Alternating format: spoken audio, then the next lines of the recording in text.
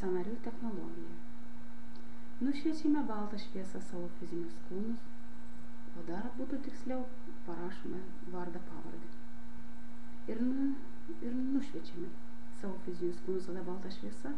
Šią šviesą suspaudžiame į mažą sferytę ir perleidžiame tą, šią sferytę per visus savo fizinių kūnus su tikslu išvalyti visą greunančią energiją arba lyderę lygos lastelę arba skausmą, kuris sukelia sanariuose skausmą.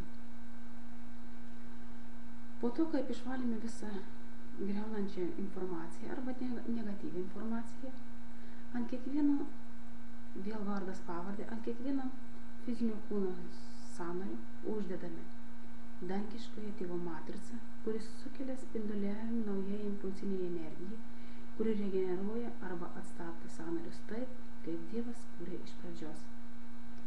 O po to papildomai kūjų sąnarius nuplauname šventosios dvasios vandenį ir plauname tol, kol jie pašviesėja.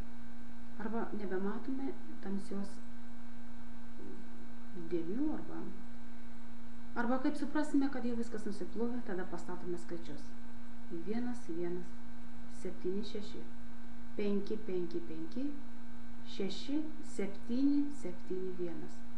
Impulsas iš sielos ir regeneruojame normą. O ant rankų sanarių užsideda dangiškojo tėvo sfera su tikslu išformuoti bet kokią neįgimą informaciją su skaičių pagalba. 9, 5, 5, 4, 2, 2, 3, 1, 2, 7, 4, 1, 1.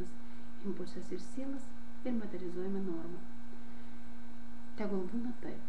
Būtina pastatyti datą.